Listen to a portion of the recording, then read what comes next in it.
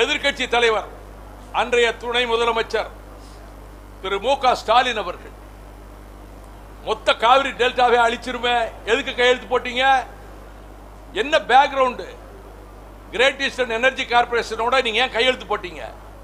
இல்ல நான் அது ஒன்றும் புரிந்துணர்வு ஒப்பந்தம் தான் மெமரண்டம் ஆஃப் அண்டர்ஸ்டாண்டிங் தான். எதுக்கு போட்டீங்க? அது பிறகு நம்மாழ்வார் போராட்டம் தமிழ்நாட்டில் முதல் முதலாக மீத்தேனை எதிர்த்து முதல் அறிக்கை கொடுத்தது மதிமுக. நான் தான் கொடுத்தேன்.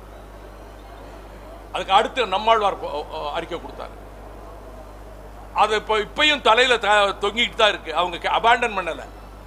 கேன்சல் பண்ணியிருக்காங்க அவன் கோர்ட்டுக்கு போயிருக்கிறான். இப்போ சேல் கேஸ் எடுத்து அதை அது இதை விட மோசம். இதனுடைய இன்னொரு ஃபார்ம் தான் ஹைட்ரோ கார்பன் இதுக்கு முதல் அறிக்கை நான் தான் கொடுத்தேன் தமிழ்நாட்டில். நான் ராயல்ட்டி கேட்கல. அது மக்களுக்கு தெரிஞ்சா போதும்.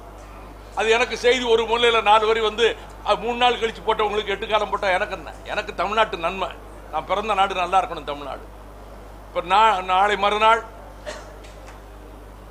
நெடுவாசல்ல என்னுடைய தலைமையில் நாங்கள் மத்திய அரசாங்கத்துக்கு இதுக்கு கடுமையான கண்டனத்தை தெரிவித்து நாங்கள் போராட போகிறோம் தமிழ்நாடு சர்க்காருக்கு சொல்லிக்கிறேன்.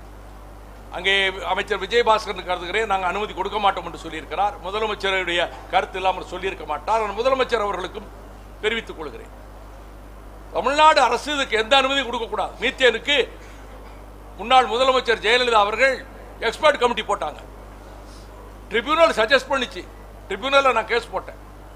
பிஆர் பாண்டியரும் போட்டார். அதன்படி அவங்க வந்து தமிழ்நாட்டுக்குள்ள அனுமதிக்க மாட்டோம்னு சொல்லி ஜெயலலிதா அவர்கள் அன்றைக்கு அறிவித்தார்கள். அதே போன்ற முடிவை இவங்க எடுக்கணும்.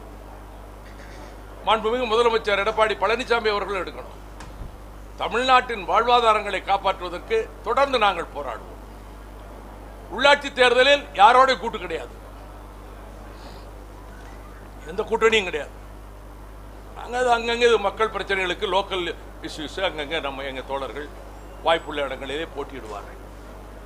எனவே அரசியலில் நாங்கள் பொது நியாயமான கருத்துக்களை சட்டசபை நிகழ்வுகளை பற்றி சொன்னதுக்கு கூட அவ்வளவு ஆத்திரத்தில் திமுக காவேரி ஆஸ்பத்திரி போனப்ப செருப்பை கொண்டு எரிஞ்சாங்க எரிய சொல்லிட்டு அதுக்கு பிறகு வருத்தம் தெரிவித்தாங்க இதை பற்றியெல்லாம் இந்த சலசலப்புக்கெல்லாம் நாங்கள் கவலைப்பட மாட்டோம்.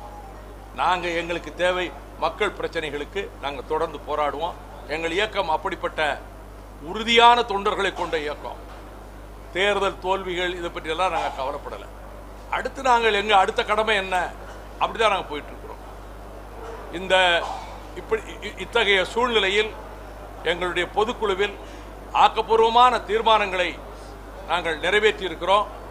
இருநூத்தி முப்பத்தி நாலு தொகுதிக்கும் அடுத்த ஒன்றரை வருடத்துக்குள் நான் ஒவ்வொரு தொகுதிக்கும் போய் கொடிப்பயணம் நடத்தி ஒவ்வொரு தொகுதியிலும் பேச போகிறேன் மாலை மூணு மணிலேருந்து வரிசையா? அதுக்கு நாங்கள் திட்டம் போட்டிருக்கிறோம்.